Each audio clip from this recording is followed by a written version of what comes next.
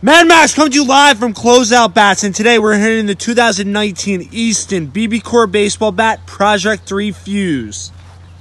Easton adds a brand new BBCOR baseball bat for 2019 called the Project 3 FUZE. This bat will be an all aluminum bat with a composite end cap that can be only found in BBCOR this year. It comes with a composite end cap called the Forged Composite End Cap, which allows for faster swing speed. It will come with ATAC alloy in the barrel and also will be reinforced with carbon core and VRS core. This just allows for thinner barrels, more pop, and more durability. It comes with a power boost knob, which just gives the player a little bit more leverage because the knob's softer and sits on the hands pretty nicely. It comes with lizard skin grip that can be only found on this Project 3 FUZE bat. This bat will be great for any kid because it comes in smaller sizes like 30 and 31 for the kids that's in 7th and 8th grade that have to swing a BBCOR bat and older kids that play 60, 90, high school and college that want to swing 32 or 33. This bet will also retail for 259.95 and will compete with bets like the Rawlings Velo. How'd that one feel?